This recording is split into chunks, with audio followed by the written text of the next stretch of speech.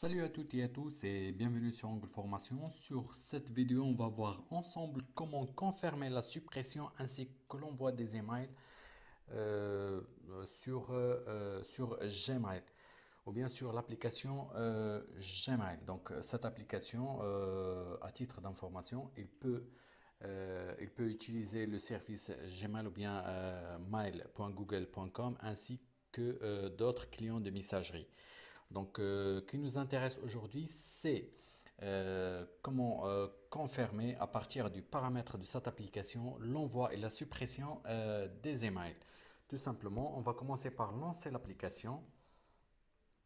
Comme vous voyez ici, j'ai mes emails. Donc, je clique tout en haut à gauche sur les trois lignes pour avoir le menu. Ainsi, je peux basculer vers le bas, vers généraux. Et tout en bas, donc j'ai la confirmation des actions. Donc confirmation avant la suppression ainsi que confirmation avant l'archivage et euh, confirmation avant euh, l'envoi. Donc euh, les deux options qui nous intéressent pour confirmer la suppression et l'envoi des emails.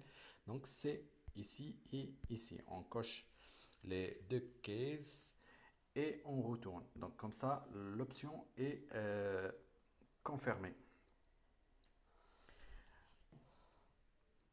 Comme vous voyez ici, j'ai mes emails. Donc, j'espère que cette vidéo vous a plu. Si vous n'êtes pas encore abonné à ma chaîne, je vous invite à s'abonner. Je vous donne rendez-vous à la prochaine vidéo. À bientôt.